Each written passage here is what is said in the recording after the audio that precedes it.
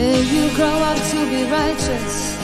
May you grow up to be true.